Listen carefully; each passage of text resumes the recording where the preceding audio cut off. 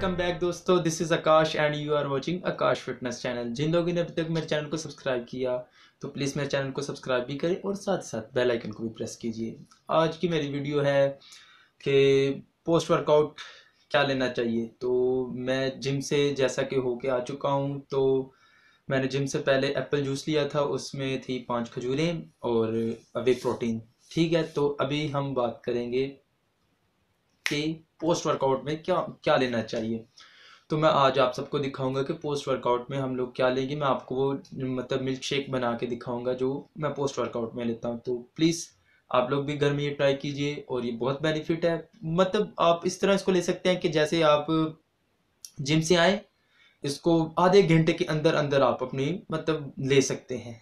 तो best method of मतलब rules of body building के भी यही हैं कि अगर आप वर्कआउट करके आए हैं तो आपको आधे घंटे के अंदर अंदर अपनी बॉडी को, अपने मसल्स को मतलब प्रोटीन्स वगैरह, जो एनर्जी वगैरह माइनो एसिड वगैरह देनी है तो वो उस टाइम दे सकते हैं। क्योंकि उस टाइम आपके मसल्स ओपन होते हैं, वो मतलब उस चीज़ के रिक्वायर्ड होते हैं कि जितनी जल्दी आप मिलेगी उसको, वो चीज़ वो उतनी जल्दी ही ग्रो अप करेंगे। तो चलिए स्टार्ट करते हैं, जाते हैं उधर।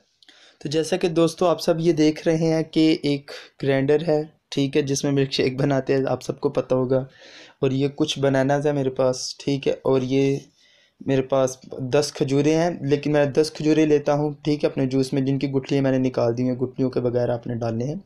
ठीक है, ये पाँच खजूरें इसमें, और पाँच खजूरें मैंने पहले भी डाल चुका हूँ, एप्पल के जूस में, जो मैंने आपको बताया कि मैं पोस्ट प्री वर्कआउट ले चुका था, ठीक है? उसके बाद हम लोग इसमें क्या डालेंगे?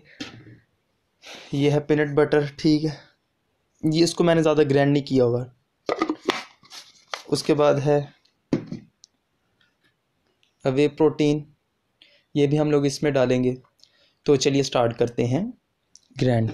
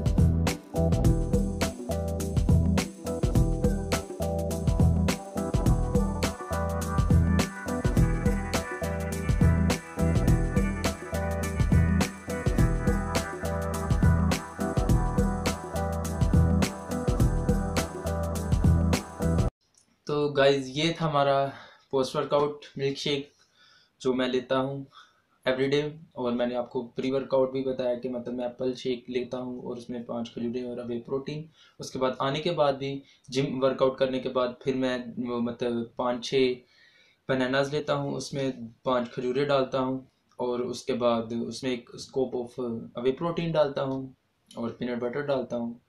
तो ये चीज़ें यूज़ करता हूँ तो ये बहुत बेनिफिट है। ज़रूर आप भी इसको ट्राई कीजिए। अगर आपको मेरी वीडियो अच्छी लगी हो तो प्लीज़ चैनल को सब्सक्राइब भी कीजिए और साथ साथ बेल आइकन को भी प्रेस